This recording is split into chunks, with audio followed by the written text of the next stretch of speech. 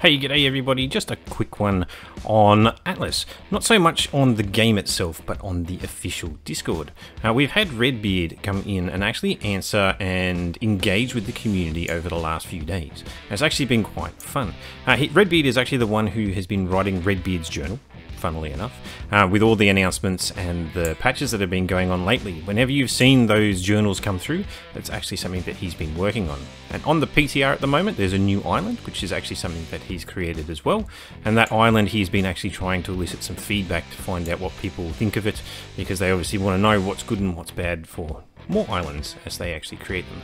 But the other thing that they did is they created two new chat channels, a community suggestions and a community feedback channel um, outside of also the PTR chat channels, where you can go in and rather than, I guess, have a conversation um, where suggestions used to be dumped into the general chat and you know you get lost within the conversation. These suggestion channels are not for conversation, therefore just put in your suggestions where people can you know, give them a thumbs up or a thumbs down, and then the uh, people can actually see what it is that the community is interested in uh, seeing, what they like and what they don't like, as well as everybody else can see what you put in there.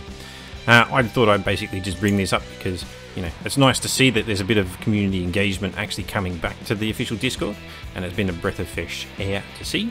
Uh, I, including one of the things that I commented on recently, actually got a comment back from Redbeard, and that was about the Q and A's, and they, he agreed that, uh, or Redbeard agreed that we should probably have another Q and A in the near future. So hopefully that one will get penciled in, and we'll hear an announcement about a Q and A coming up soon.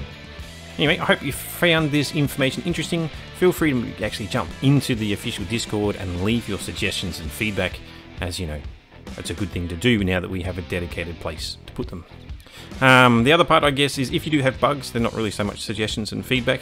There is a bug form that you can actually fill out if you actually find something that actually breaks, and you should probably use that instead of these chat channels. Uh, it is linked somewhere on the official Discord. I will see if I can find a link and shove it down in my description.